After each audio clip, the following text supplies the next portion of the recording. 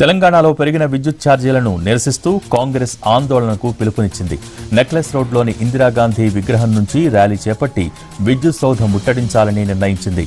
ఉదయం పది గంటల ముప్పై నిమిషాలకు పార్టీ నాయకులంతా ఇందిరాగాంధీ విగ్రహం వద్దకు చేరుకుంటారు.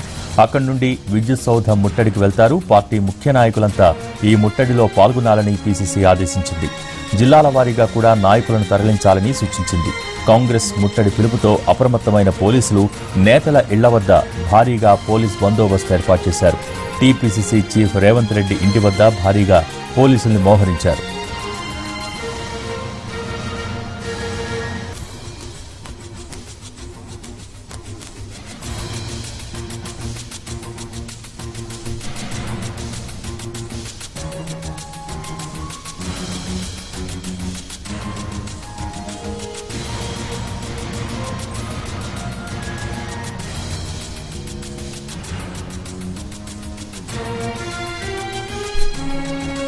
విద్యుత్ ఛార్జీలతో పాటు నిత్యావసర వస్తువుల ధరల పెరుగుదలపై కూడా నిరసనకు పిలుపునిచ్చింది టీ కాంగ్రెస్.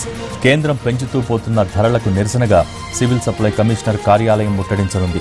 పార్టీలో అనుబంధ సంఘాలు కిసాన్ కాంగ్రెస్ నేతలు సివిల్ సప్లై కమిషనర్ కార్యాలయం ముట్టడిలో పాల్గొనాలని నిర్ణయించారు.